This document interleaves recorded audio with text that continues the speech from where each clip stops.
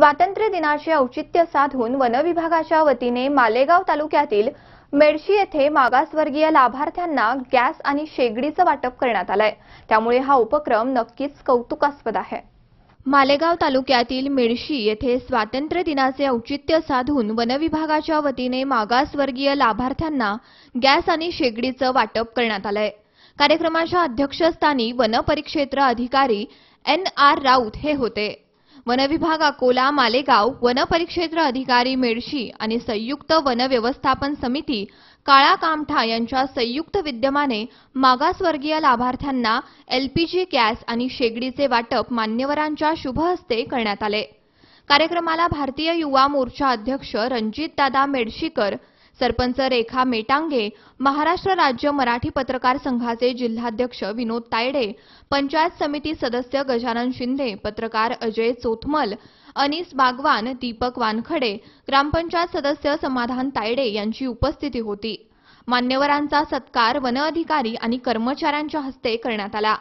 मान्यवरांच्या हस्ते मेडशी भैरत काळा कामठा रिधोरा आदी गावातील पन्नास लाभार्थ्यांना गॅस आणि शेगडीचं वाटप करण्यात आलंय. यावेळी एन आर राऊत विनोद तायडे रणजित मेडशीकर आदींची भाषणे झाली. कार्यक्रमाचे संचालन वनपाल भिसे तर आभार वनपाल तायडे यांनी मानले. किंवा इतर योजनेमार्फत मी सगळ्यांना विनंती करतो की ज्या सगळ्यांनी एल पी जी गॅस घ्यावा आणि आपल्या माता भगिनींना ह्या त्रासापासून वाचवावं. तर या ठिकाणी जे आम्ही गॅस वाटप करतोय समितीमार्फत संयुक्त वन व्यवस्थापन समिती काळा कामटा यांच्यामार्फत जे आम्ही वाटप करत आहोत तर वन विभागाच्या काही माफक अपेक्षा आहेत लाभार्थ्याकडनं किंवा ग्रामस्थाकडनं की बाबा चराईबंदी कुराडबंदी त्या गावामध्ये असावी. त्याच्यानंतर आगीपासून संरक्षण करावं अतिक्रमण नसावं त्या ठिकाणी. आणि वेळोवेळी वन विभागाच्या ज्या काही कार्य असेल त्याच्यामध्ये आपलं सहकार्य भेटावं आणि त्यातून वनाचा विकास व्हावा पर्यावरणाचा विकास व्हावा ह्याच्यासाठी आपलं सहकार्य आवश्यक आहे. आता या ठिकाणी तीन चार गावचे आहेत. जसं मेडशी आहे बोरद आहे काळाकामटा आहे रिदोरा आहे. अशा तीन चार गावचे मिळून आम्ही या ठिकाणी एल पी जी वाटप या ठिकाणी ठेवलेलं आहे. ॲक्च्युली आता हे ब- कार्यक्रमात ब- जे मान्यवर बोलले त्यांनी बऱ्याच जणांनी बाबा माझ्या माध्यमातून मी फक्त एक माध्यम बनतोय. ॲक्च्युली ह्याचं सगळं श्रेय माझ्या कर्मचाऱ्यांचं आहे.